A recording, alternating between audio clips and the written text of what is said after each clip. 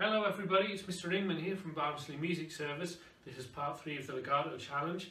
The challenge has been stepped up slightly in this one because there's an extra note in the phrase making it slightly longer. I'm going to demonstrate this challenge in two ways. I'm going to play detached first. Now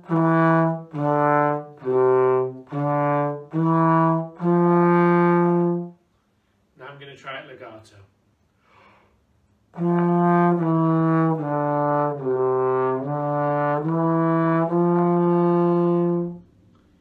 As always, I'd love to hear you play this at home. Post it in as a message to the Music Service Facebook. Look out for Challenge 4. Thanks for watching.